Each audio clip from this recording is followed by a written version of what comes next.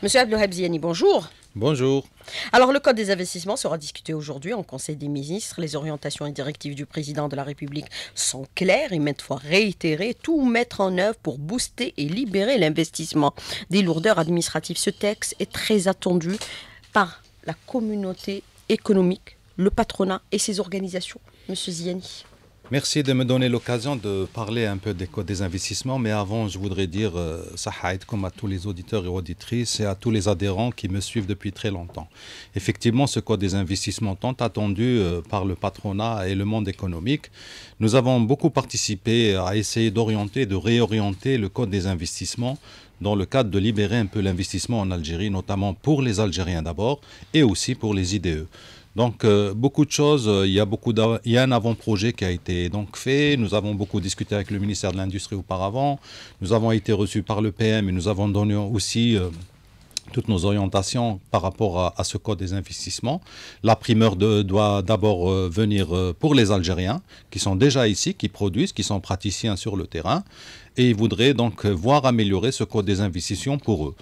Cette façon-là, c'est exactement pour essayer de draguer les IDE quand les Algériens eux-mêmes seront déjà confortablement dans leur pays avec un code des investissements qui peut les accompagner dans le futur investissement. Mais M. Abdelhabzi la nouveauté, c'est la vision euh, qui change aujourd'hui, la géostratégie économique où tout est reconcentré autour de l'entreprise pour la création de richesses et d'emplois. Bien sûr. À la fois, M.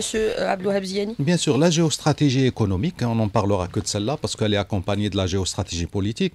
Mais la géostratégie économique, c'est qu'aujourd'hui, toutes les géostratégies faites dans le passé sont tombées. Et chaque pays est en train de penser comment essayer de produire et d'avoir les meilleures rentabilités dans son propre pays pour essayer de dépendre que de son, pays. On est dans cette logique aujourd'hui Nous sommes dans cette logique parce qu'aujourd'hui, je donnerai, je citerai, j'ouvrirai une parenthèse, je citerai un, exemple. Aujourd'hui, nous avons produit beaucoup de colza. Nous avons de l'industrie, de l'industrie de, de pour traiturer de l'huile chez nous et nous avons réussi pour planter beaucoup d'hectares, des milliers d'hectares de colza. Donc aujourd'hui, on peut devenir autonome, mais on peut aussi devenir excédentaire pour exporter ce colza, vu qu'il y a une guerre entre la Russie et l'Ukraine, et le colza arrivait beaucoup de cette, de cette région-là. Et l'Algérie peut se repositionner, c'est ça la géostratégie économique, on peut se repositionner pour les gens qui ont besoin. Du fait que maintenant nous relançons l'agriculture grâce au nouveau code des investissements et grâce aussi à la nouvelle plateforme du ministère de l'Agriculture qui va aider les investisseurs à s'installer sur des grandes superficies pour essayer de devenir autonomes. Mais par rapport à ce code des investissements, par rapport aux lourdeurs administratives, pour que euh, l'investisseur n'ait pas, bien sûr, à faire le parcours du combattant pour pouvoir investir euh, son argent dans notre pays, qu'il soit étranger ou qu'il soit national, on renforce aujourd'hui les prérogatives de l'ANDI qui va se transformer en un véritable guichet unique, monsieur euh, Abdelwahab Ziani. C'était une des revendications essentielles du patronat. Ça va être Algerian Invest, c'est sa nouvelle dénomination. D'ailleurs, même le CNI ne sera plus présidé par le Premier ministre. C'est une bonne chose parce qu'aujourd'hui, euh, aujourd'hui, on est obligé de reconvertir euh, cette euh, on dit en Algerian Invest. Ça veut dire que toutes les institutions doivent être autour de Algerian Invest pour justement libérer, accompagner, aider l'investisseur national ou étranger pour obtenir toutes ces autorisations que tout le monde peine à avoir. Il y a des autorisations, il y a des changements de texte. À chaque loi de finances, vous savez, elle vient annuler quelque chose qui a été déjà promulgué. Donc, je pense que euh, Algerian Invest va devenir peut-être un, un, challenge pour euh, justement l'agence, mais aussi faciliter donc l'accompagnement pour l'investisseur surtout étranger parce que nous nous connaissons les tracas de la bureaucratie algérienne et je pense que Algerian Invest va démolir tout ce qui est donc bureaucratie et deviendra un guichet unique pour l'accompagnement, bien sûr pour les projets qui sont intéressants et qui intéressent l'Algérie. Alors la stabilité juridique est notre gage aussi euh, de renforcement de cet investissement, puisque vous avez aussi dans l'avant-projet de loi sur l'investissement qui sera discuté aujourd'hui en Conseil des ministres et dont on détient une copie, il est, stipulé euh, dans euh, le préambule qu'en effet le climat des affaires a souffert de changements successifs survenus ces dernières années, parfois avec des prises de décision régissant l'investissement qui se sont avérées inopportunes, ne plus recourir à des changements récurrents du cadre légal à travers les différentes lois de finances. Il faut rompre avec ce type de pratique aujourd'hui, M. Abdelwahab Siyani, pour assurer cette stabilité juridique à laquelle s'est engagé le président de la République pour au minimum 10 ans. Écoutez, euh, c'est vrai que le patronat a souffert de ça. Pourquoi? Parce qu'à chaque fois qu'il y a, qu'il y a une loi qui, qui est bonne, euh, et qui n'a pas de texte d'application et l'institution travaille avec l'ancien texte d'application. Nous, on dit que la loi est bonne, mais le texte d'application n'est pas bon parce qu'il n'est pas encore arrivé. Donc je pense qu'il faut rompre avec toutes ces pratiques.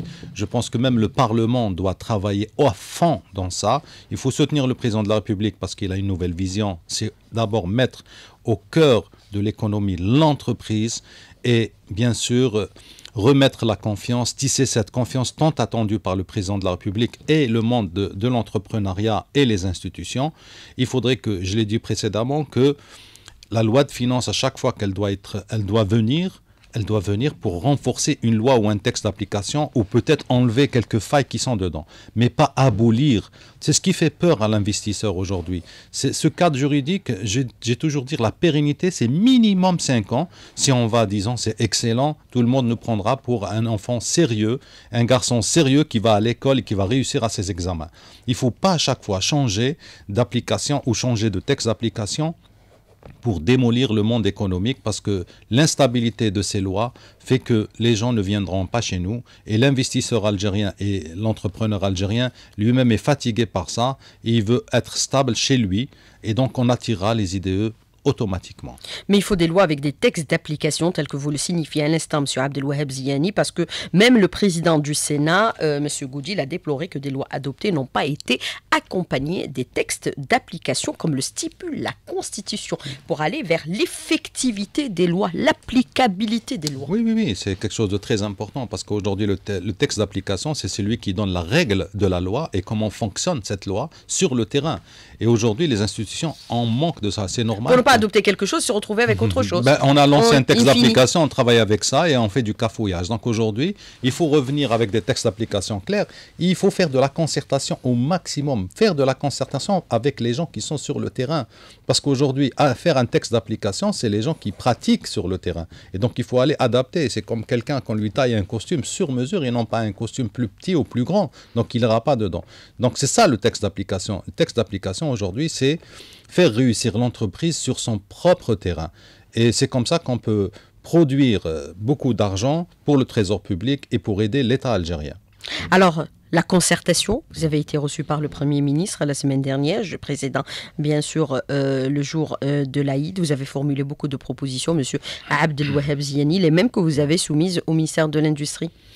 Oui, d'abord, deux choses qui sont importantes à retenir, c'est aujourd'hui la concertation la concertation, elle est très, très importante parce qu'on doit se concerter. Je dirais que... C'est la directive du président de la République également. Oui, nous sommes partis sur cette directive. On a toujours dit qu'il faut laisser la petite porte du palais pour que l'économie rentre au sein des politiciens pour qu'on puisse appliquer quelque chose de sur mesure pour l'entreprise algérienne qui produit, qui, pérenne, qui, fait, qui fait de la pérennité pour les emplois et qui crée des richesses pour ce pays. Mais les politiciens font de l'économie également, M. Abdelhabzini. Ils font, ils font de la théorie, nous nous faisons de la pratique, c'est différent.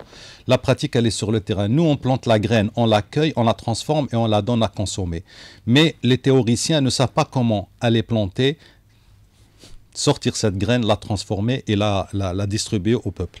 Donc c'est très important que la pratique, elle est là sur le, sur le terrain, mais il faudrait que les lois nous accompagnent. Ils nous font du sur-mesure. Il ne faut pas qu'on rate le coche cette fois-ci. On est sur la bonne voie. Le président de la République nous a reçus dans le passé, le Premier ministre plusieurs fois. Et donc aujourd'hui, il faut aller dans un, dans un cadre vraiment légal, concerté, avec une, une confiance qui revient. Il faut la tisser. C'est très important. Alors, euh, en parler euh, de la concertation. Vous avez formulé plusieurs propositions, M. Abdelhazini. vous avez remise au Premier ministre oui, parce que là, dans, dans, cette concertation, il y a des priorités. la priorité, c'est quand même, aujourd'hui, c'est la sécurité. La sécurité alimentaire, elle est très importante parce qu'il y a... La sécurité économique, tout court. Oui, tout court. Mais euh, aujourd'hui, quand on voit qu'on importe quand même sur euh, 4 ou 5 produits qui, font, qui nous font peur, c'est si vous avez l'huile, le lait, le blé, euh, euh les graines léogineuses et le sucre. Et tout ça, on peut le produire chez nous. Et c'est pour ça que je dis que si le cadre juridique est bon, les gens viendront et ils investiront. Et, aussi la concertation, parce qu'aujourd'hui, euh, on a des agriculteurs qui ont, qui ont investi dans la betterave sucrière, personne n'est venu la chercher. On a des gens qui ont investi dans le colza, il a fallu qu'on fasse à la CIPA beaucoup de bruit pour que le ministère de l'Agriculture délègue, envoie une, une, équipe pour aller voir à l'est du pays combien nous avons planté de colza. C'est la concertation. Et c'est comme ça qu'on peut tisser la confiance. Quand on a une orientation, quand on a une planification définitive dans un pays, on peut beaucoup avancer. Et quand il y a de la confusion, quand il y a une loi de finances qui vient justement rompre des lois qui existent ou des textes d'application qui sont bons. Et à ce moment-là, il y a ce qu'on appelle une discontinuité des lois et donc la pratique tombe et les gens en ont marre d'investir dans notre pays. Alors la priorité aujourd'hui, c'est de reprendre l'activité économique impérativement, Monsieur Abdelwahab Ziani, puisque vous parlez aujourd'hui de sécurité économique. C'est ça la priorité absolue pour éviter bien sûr de sombrer dans une crise sociale. Oui, bien Puisqu'on a eu quand même des années difficiles. on a eu beaucoup d'années difficiles. On a eu deux années de, Covid. On a eu un peu cette. Euh, on a eu l'effondrement euh, économique mondial. On a eu le pétrole qui a dégringolé. Et l'Algérie est passée par des phases euh, vraiment pas bien. Et aujourd'hui, je pense que nous sommes à la reprise depuis 2019. Aujourd'hui, en 2022, on doit se concerter entre nous, on doit travailler entre nous en interne, parce que nous sommes un pays magnifique. On est, on est une géostratégie euh, par rapport aux portes de l'Afrique. Nous sommes en face de l'Europe. Nous pouvons fournir de l'énergie à l'Europe grâce à l'énergie. J'ai entendu ce matin que notre ministère est en train de faire une stratégie pour la fabrication d'hydrogène. Je l'ai dit dans ce plateau il y a plus d'un an et demi que maintenant nous avons, Dieu nous a donné du soleil et un grand pays. Nous pouvons transformer cette énergie en hydrogène et nous pouvons justement exporter l'hydrogène liquéfié vers l'Europe et on peut devenir un grand fournisseur de l'Europe en dehors du gaz et du pétrole. Parce qu'aujourd'hui, nous avons ces chances-là. Nous avons peut-être un manquement d'accompagnement, nous avons aussi une orientation. Il faut planifier tout ça et nous avons beaucoup d'entreprises autour de nous qui peuvent justement aller investir, transformer et exporter et aider notre pays à devenir peut-être parmi les 15 premiers pays du monde. Hein. C'est ça le principe de la géostratégie économique, M. Abdelouheb Ziani, c'est-à-dire mettre en place euh, des visions sur le moyen et le long terme, plus réfléchir, c'est-à-dire sur le court terme ou agir sur le court terme moi d'abord, je dirais que avant de parler du moyen, euh, du long terme, je voudrais d'abord parler d'aujourd'hui, de, de, 2022. Nous sommes là, nous avons des entreprises. Ces entreprises-là qui travaillent en manque de réflexion, manque de courage de continuer à travailler. Mais je dirais que maintenant, avec euh, cette remise de confiance, cette, cette écoute un peu de, des institutions, notamment du président de la République, qui essaye de faire, bien sûr, il faut aider le président de la République à asseoir une politique économique basant sur gagnant-gagnant. Et il faut, il faut aller de l'avant. Je pense que nous avons euh, beaucoup d'entreprises qui peuvent relever le challenge. On peut produire. Aujourd'hui, je dis toujours que nous avons moins de 30% des entreprises parce que nous avons des capacités énormes. On travaille qu'à 30% de nos capacités. si on a, on a justement cette euh, confiance qui revient, on peut travailler à 100% de nos capacités en produisant en interne, on peut exporter et ramener beaucoup de devises à notre pays. Mais il faut venir en aide aux entreprises qui sont en difficulté aujourd'hui. C'est pour ça que je parle. Abdelwahab Zieni, pour les reprendre, pour, leur, bien sûr, les pousser à reprendre leur bien activité. Sûr, aujourd'hui, euh, aujourd'hui, les entreprises euh, n'ont pas une planification euh, visionnaire parce que les lois changent et à chaque fois, les gens même veulent changer de métier, se disent on n'arrive pas à trouver, alors qu'il faut rester dans son métier. Il faut encourager les gens qui existent aujourd'hui, mais il va falloir nettoyer tout l'environnement de l'entreprise. Mais justement, par rapport à ce nettoyage dont vous vous parlez un instant, Monsieur Abdelwahab Ziani, c'est-à-dire l'assainissement euh, de l'environnement de l'entreprise. On parle aussi euh, des impôts. Il est stipulé l'application d'un taux modulable de la TVA euh, pour les investissements réalisés dans le régime des secteurs prioritaires. C'est important c'est très important. Il y a deux facteurs qu'il va falloir changer. Je rajouterai quelque chose. Je ne suis pas en train de dire qu'il faut faire le texte exactement comme je le dis. Mais il y a deux facteurs qui m'intéressent, moi. C'est la TVA et le nombre d'emplois. Si quelqu'un vient il emploie 10 000 personnes, celui-là, je réduirai pour lui la TVA à zéro, même, parce qu'il va m'employer 10 000 familles. Et c'est la même chose que quelqu'un qui vient d'investir 1 milliard ou 3 milliards de dollars, c'est pas la même chose que celui qui investit 100 000 euros. Donc c'est modulable. C'est modulable et c'est comme ça qu'on peut attirer les IDE de l'étranger vers l'Algérie. Alors, euh, M. Abdelheb moi je voudrais revenir avec vous, bien sûr, sur cet avant-projet de loi sur l'investissement qui contient dans sa globalité 35 articles, moins volumineux que les, que les lois ou les codes euh, précédents. Mais ce qui est relevé aussi, c'est le principe de la rétroactivité. Vous avez dans l'article 31 sont maintenus les droits droits et avantages acquis par l'investisseur en vertu des législations antérieures à la présente loi. C'est-à-dire, on n'est pas dans un contexte où on efface tout pour tout recommencer. Moi, je souhaiterais que ça soit fait comme ça, parce qu'aujourd'hui, on ne va pas rester toujours à, à revenir dans le passé. Aujourd'hui, il faut aller de l'avant. Le passé est mort. Le présent Qui n'avance pas recule. Exactement. Le présent, c'est le futur. Aujourd'hui, il va falloir euh, aider les entreprises existantes, faire un code des investissements qui doit être sur mesure, qui doit projeter les entreprises vers le futur et quelle est la ligne de conduite? Je pense que le président de la République l'a dit. Aujourd'hui, il ne voit pas d'inconvénient que les entreprises gagnent de l'argent dans leur propre pays et c'est comme ça qu'on peut. Il a dit qu'il faut gagner de l'argent honnêtement. Exactement. On peut gagner. Il ne faut pas voler. Bien sûr, il faut gagner de l'argent, il faut savoir payer ses impôts dans son propre pays et il va falloir aller de l'avant. Parce qu'aujourd'hui, il va falloir faire de l'exportation. Aujourd'hui, beaucoup de gens attendent l'Algérie pour, produire et faire de l'excédent. Et nous sommes capables. Nous avons des frontières vers le sud. Il y a des pays qui sont enclavés, qui, nous qui attendent que nous. Aujourd'hui, on a une opportunité. On a parlé de la géostratégie économique.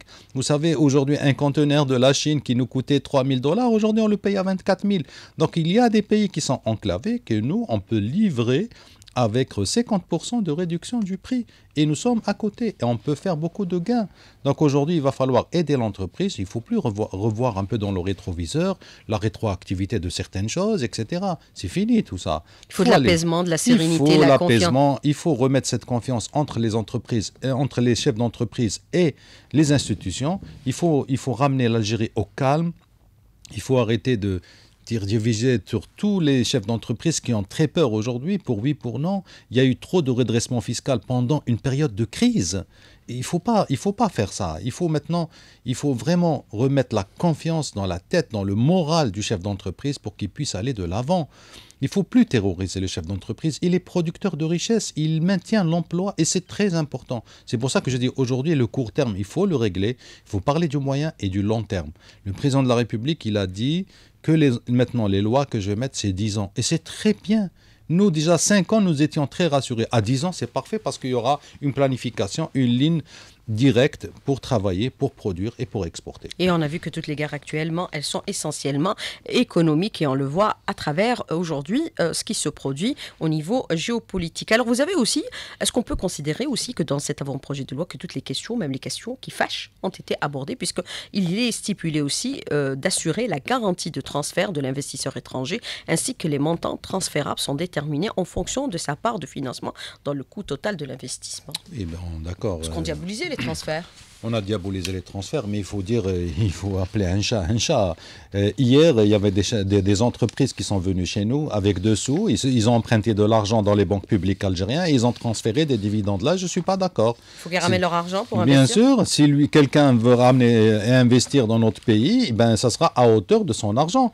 C'est pas avec notre argent qu'il va faire du beurre et transférer cet argent. Mais c'est ça le principe des banques, elles financent des investissements. Oui, elles financent des investissements. Il faudrait que montrer patte blanche parce qu'auparavant, on n'avait pas de bons investisseurs mais aujourd'hui, je pense que justement. Je Tout le monde sollicite les banques également, les investisseurs nationaux, M. Bien, bien sûr, on sollicite, mais on vient. Moi aussi, euh, je dirais qu'alors, on n'a pas besoin des étrangers, on n'a besoin que d'Algériens, on n'aura plus besoin de transférer les dividendes, parce qu'on a des idées autant qu'eux. Les idées, qu'est-ce qu'ils peuvent apporter? Une technologie qui manque. Et c'est pour ça que je reviens sur le point des valeur ajoutée. Tous les pays se développent aussi avec... Invest, aujourd'hui, doit choisir les projets que nous n'avons pas chez nous, et c'est une priorité chez nous. Je pense que la maturité et l'intelligence algérienne, et au-dessus de tout cela, nous avons beaucoup d'Algériens, nous avons une diaspora algérienne qui veut investir chez eux et on évitera beaucoup le transfert des dividendes. Mais si quelqu'un vient chez nous, il faut qu'il mette quelque chose dans ses bagages. Alors, euh, on parle beaucoup de sécurité économique avec le contexte géopolitique actuel. Monsieur Abdelwaheb Ziani qui nous a démontré qu'on ne peut compter que sur nous-mêmes, sur nos ressources et bien sûr nous retrousser les manches pour travailler notre pays. Aujourd'hui, en commémorant le 77e anniversaire des massacres horribles euh, du 8 mai 1945 euh, perpétrés par l'armée coloniale, nos aïeux ont défendu ce pays corps et âme au détriment de leur vie. Aujourd'hui, à nous de le construire. C'est ça le principe qu'on doit aujourd'hui véhiculer, Monsieur Abdelouazier. Il faut qu'on travaille. C'est le travail. C'est le principe et je pense que ma génération, réhabiliter la notion de travail, euh, qui a eu tellement euh, touché dans sa chair dans le passé, il n'y a pas une seule famille algérienne qui n'a pas été touchée. Et cette commémoration est très importante pour nous. Je pense que euh, est ancrée dans notre sang Et on ne peut pas oublier ça. Et aujourd'hui, on doit se retrousser les manches pour travailler. Vous savez, nous sommes. C'est ça notre mission aujourd'hui. Notre mission, ma génération à moi et ceux qui m'écoutent aujourd'hui et les chefs d'entreprise qui m'ont fait confiance, que je suis à la tête d'une organisation, c'est toujours, je le répète, travailler plus, donner plus à votre pays, c'est un honneur. Parce qu'aujourd'hui, il faut lever l'Algérie au plus grand rang. Et aujourd'hui, quand on nous dit que l'Algérie travaille à peine 18 minutes sur, euh, sur 8 heures, je dirais qu'il faut maintenant améliorer le taux de travail. C'est très important. C'est vrai qu'on paye, mais il va falloir que l'employé lui-même, le chef d'entreprise, doit former, en travailler plus pour élever les 18 minutes au moins à 30 minutes sur les 8 heures. Et c'est très important. Alors, on doit investir dans les chronos essentiellement budgétivants, puisque nous savons que dans le textile, nous importons le textile, hein, l'habillement, nous importons l'équivalent de 4 milliards de dollars pour habiller les Algériens. Oui, vous avez par exemple. Ça, c'est une véritable saignée également. Oui, c'est une véritable. L'alimentaire, c'est 10 milliards de dollars, c'est connu. Oui, 10 milliards de dollars, 4 milliards ici. Euh, ça a évolué en plus depuis, hein, c'est 14. milliards euh, de, de, de, transport et, de, de, fret, de pour fret, le fret, etc. Et tout ça. Pour les armateurs étrangers en plus. oui, je dis, là, je lance un message aux institutions, s'il vous plaît, aux institutions algériennes, qu'il soit le ministère du Commerce, que soit les douanes, etc., d'alléger toutes les procédures pour dédouaner les matières premières pour les entreprises algériennes. Plus vous, vous tardez, plus vous sortez des procédures, les certificats de respect, les certificats de ceci, arrêtez de sortir des procédures qui font les bâtons dans les roues aux chefs d'entreprise. Et qui profitent à l'importation en définitive. Qui profitent à transférer de l'argent en devise aux étrangers. Et c'est même pas la CNAN, c'est pas les entreprises algériennes. Donc il faut que les institutions comprennent, c'est notre argent, on doit le, préserver. Vous parlez des suristaries je parle des suristaries. non, pour que les auditeurs puissent vous comprendre, monsieur. Oui, les suristaries, quand un conteneur, je défie quiconque aujourd'hui qui a un conteneur qui arrive à Alger et l'entreprise a plus de 20 ans de travail qui, peut dédouaner son conteneur en moins de 10 jours. Alors que là, c'est en moins d'un mois. Et vous savez qu'au bout d'un mois, on paye des tarifs et c'est l'Algérie qui transfère bêtement des devises. Et aujourd'hui, je fais un appel aux institutions d'alléger les procédures au lieu de créer des procédures. En plus, ces restrictions à l'importation n'ont pas réduit les importations, puisqu'il y a le recours massif au cabas aujourd'hui, c'est-à-dire l'importation, l'importation frauduleuse. cette question de l'auditeur qui est en rapport avec le textile, Monsieur Abdou Habziani, je suis ingénieur en textile et cuir. Je pense qu'il n'y a pas assez d'investissement dans le secteur. On continue d'importer nos vêtements. Il n'y a qu'à voir le nombre de magasins de grande surface d'habillement. Pourtant, l'Algérie dispose assez de matières premières, le cuir et la laine. Ça, c'est important. C'est vrai que c'est des matières premières dont nous disposons. On regrette les fleurons du textile et de la chaussure dont disposait l'Algérie durant les années 60 et 80. Sonitex, 70. Sonitex euh, vous savez, moi, ces entreprises, elles sont toujours là. Pourquoi ne pas les redémarrer? Pourquoi ne pas faire une liaison? Parce que moi, je crois beaucoup entre le public et le privé. Pourquoi ces superficies qui sont en train de dormir, pourquoi on ne les donne pas à, un mixte euh, public et privé pour redémarrer ça? Parce qu'il faut faire du fil, il faut, il faut travailler. Parce que l'industrie du textile, c'est vrai qu'elle manque, mais toutes nos matières sont importées. Donc, euh, vous avez aussi un géant qui se trouve euh, à l'ouest du pays, c'est un Turc, il est en train de travailler, mais il exporte tout parce qu'il a de la demande. Il importe tout, il transforme, il exporte. Moi, je pense qu'il va falloir maintenant qu'on travaille nous-mêmes, hein, tisser, euh, tisser ce qu'on a besoin, produire ce qu'on a besoin. La laine, on en produit, le cuir, on en a, on en a beaucoup, on en jette même. Donc il va falloir qu'on puisse transformer nous-mêmes. Et je pense que c'est un, un, secteur très important, il est stratégique pour le futur. Moi, je dirais 10 millions d'entreprises, M. Abdelouahab Ziani. Hein. Dans la loi euh, de 2007, on parlait déjà de création de 2 millions d'entreprises à horizon 2012. Euh, Alors vous avez aussi cette autre question qui me semble être très pertinente, celle de l'auditeur. Alors la configuration actuelle de la promotion de l'exportation est sous la responsabilité du ministre du Commerce, du ministère du Commerce alors que la majeure partie des acteurs sont des autres de l'autorité d'autres ministères. Est-ce qu'il y aura un changement décisionnel à ce sujet Vous avez les banques, les douanes et les moyens de transport. Moi, je dirais qu'auparavant, il y a il y a quelque temps, nous avons créé un ministère de l'exportation. Un sous-secrétariat d'État à l'exportation. Moi, je pense qu'il faut le remettre. Il faut qu'il soit indépendant. Il faut que, nos produits investissent Bien sûr, il, va falloir. Le ministère du Commerce doit. produits turcs, chinois. Il faudrait que nous aussi en place Le ministère du Commerce doit s'occuper du commerce en général, de tout ce qui se fait autour de nous, que ce soit l'importation ou la production en interne. Mais celui qui est au commerce extérieur, ce département doit, doit aller justement accueillir justement les producteurs, les accompagner, les asseoir sur des pays Rien que le continent africain, nous avons beaucoup à faire. Il va falloir revenir sur cette décision pour désigner une personne qui connaît parfaitement le pays, euh, le continent africain pour aller faire de l'exportation. Et je pense que l'Algérie, c'est une championne dans tous les pays de l'Afrique. On doit reprendre notre place et la première place. Monsieur Abdelhabziani, merci d'avoir répondu à nos questions et d'avoir été en direct avec nous ce matin dans le studio. Merci beaucoup. Bonne journée. À bientôt. Merci. Au revoir. à demain.